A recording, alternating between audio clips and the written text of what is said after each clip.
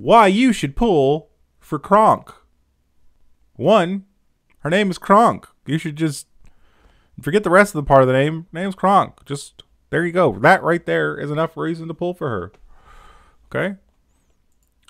If you like big booba waifu girls, pull for Kronk. She's a big booba blonde waifu girl. Like I don't She's got great legs, got cool ass gear, got a decent personality. She's even got a boob mole. Didn't even notice that before. She's got a boob mole. Right? It's cultured. Uh, she's another dishwasher character, which means you either hate her or love her simply because of that. Because for some reason, people have a real fucking hard on boner for hating on dishwasher. I don't know why, but they do. So whatever. Um, let's look at her skills. Increase the ship's firepower and evasion by 8%. That's good. Every 8 times the ship fires her main gun, fires a level 10 special barrage. If this ship has a large caliber main gun equipped, decrease the shot requirement to 4 and improves this barrage. It's pretty good. It's pretty good barrage too.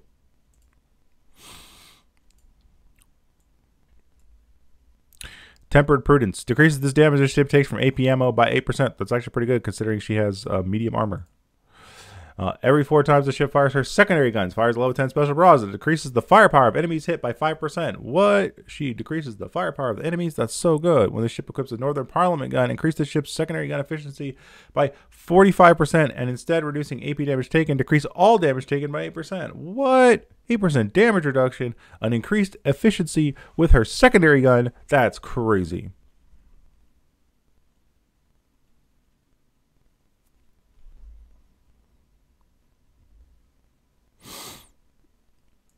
Wild, strong-willed support. During a battle, when this ship's HP falls below 10%, a result of damage taken decreases ship's burn damage taken by 50%, recovers 1% of her max HP every second for 10 seconds, so recovers 10% HP.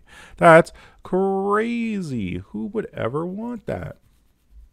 Who would ever want her to have a heal? This makes her actually incredibly good for a mob fleet, by the way. While this ship is afloat, when a fleet this ship is not in starts a battle, if the fleet's flagship is a battleship, decrease the main gun spread of all your BBs by two. Wow. That's crazy. Main gun spread. Obviously, nobody can figure out the quantification of how good that is, but just to let you know, it's really good. Two, 20 seconds after the battle starts, fires a level 10 special barrage that decreases the speed of enemies hit by 40% for 5 seconds wow, that's so good. And I'm not even like I'm being kind of sarcastic, but the reason I'm being sarcastic is because for some pe- reason people have it in their head that Kronk is bad, and I don't know why. I don't know where this thought process came from. I don't know why suddenly everybody's like Kronk is bad. You don't need to pull for her. You don't need all this. You don't need to pull for any ship in this game. She's not bad. She's very, very good. Very, very good. Very good for your for supporting your battleship fleets from another fleet. Basically, being a good mob ship frontline ship. She self heals. She has a barrage. She has two barrages actually. She has uh, uh, increased efficiency with her secondary, which also again makes her really good for mob fleet. Absolutely ridiculous. Absolutely ridiculous that people think this character is bad.